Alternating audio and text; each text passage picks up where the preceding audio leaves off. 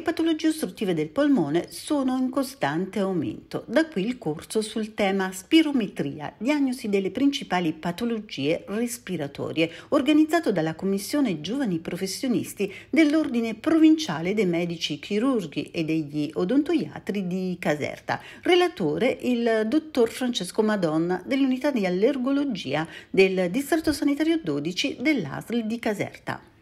posso dire che la spirometria è sicuramente ehm, l'indagine fondamentale per andare a valutare se a carico dell'apparato respiratorio possiamo trovare una patologia di tipo ostruttivo o restrittivo. Non è un'indagine che da sola ci fa porre diagnosi di eh, asma o BPCO, ma sicuramente ci dà una grossa mano nella valutazione proprio nella eh, eh, diagnostica, ma soprattutto nella valutazione eventualmente della gravità e quindi della opportuna terapia da mettere in atto. La situazione qual è attualmente, eh, dottore?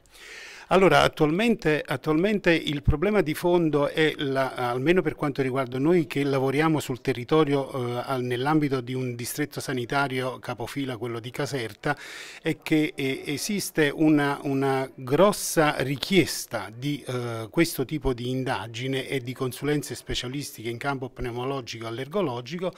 a fronte di un'offerta che diciamo non copre proprio tutte le, le, esigenze. È importante, arrivato a questo punto, stabilire che il medico di medicina generale può mettere in atto sicuramente tutte quelle che sono le eh, iniziative che eh, mh, possono servire a formarli per quanto riguarda almeno una spirometria di base, prima di inviare il paziente dallo specialista ambulatoriale. Quale deve essere il rapporto tra eh, medico eh, di base e eh, medico di medicina generale?